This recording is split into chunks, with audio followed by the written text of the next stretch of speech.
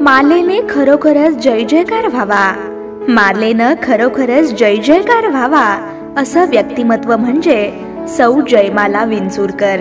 स्वतः अनुभव घेतल्यावर महिलांना जिममध्ये पुरुष ट्रेनरशी आपल्या शारीरिकतेवर मोकळेपणाने बोलता येत नाही हे लक्षात आल्यावर त्यातूनच त्यांनी फक्त महिलांसाठीच जिम ट्रेनिंग सेंटर उभारायचं ठरवलं.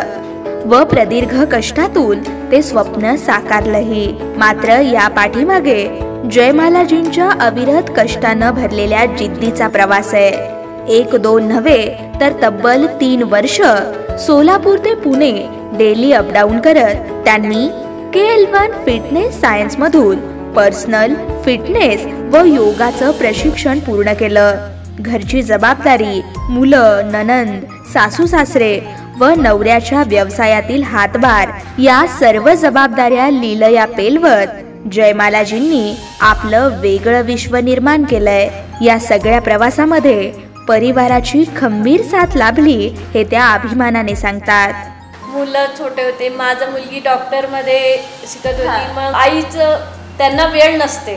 त्यांना टिफिन करून त्यांच्या जेवणाचं बघून आणि सासू सासरे घरात आहे नंदा आहे मग घर सांभाळून स्वयंपाक सकाळी तीनला उठून मी सगळं करून माझं मिस्टर तरी त्यांनी शॉप बघते एजेड सासरे त्यांना इथं बघावं लागते मी गेल्यावर त्यांच्या जबाबदारी पडते ना.